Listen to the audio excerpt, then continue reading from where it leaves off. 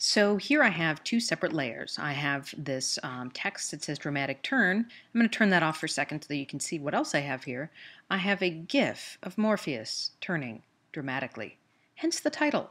So I want to actually turn this into a mask. I want to basically remove all the stuff that's around this text and have Morpheus show through the text. So the white will disappear, there'll be animation going on inside of it, and it will be awesome.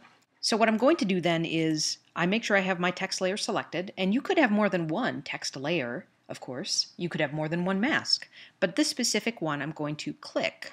I'm going to go to Layer, Create Masks from Text. I click that, and it turns it into a series of masks. So if I click the little drop down for it, we also note that it turns off the text. But if I click this, here's a whole bunch of little masks basically based on the font. What I need to do, and this is kind of weird, is I need to click on the masks and I'm going to go to Edit, Copy, or Command C if you like. Now I'm going to click on this GIF and do Edit, Paste, or Command V.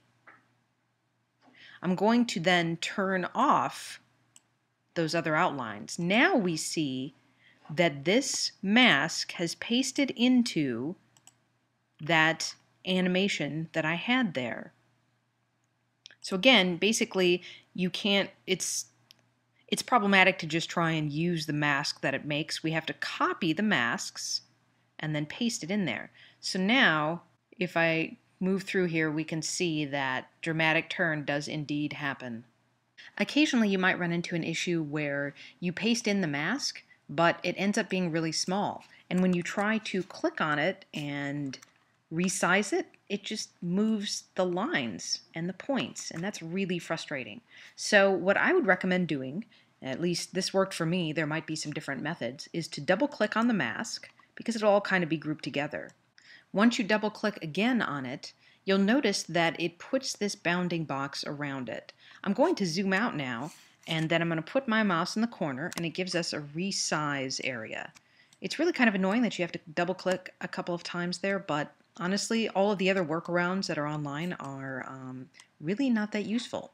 So once I have that resized, that mask, I can close that and go back to my original and I can actually move it again from here. Kind of annoying, but um, better than not doing so at all.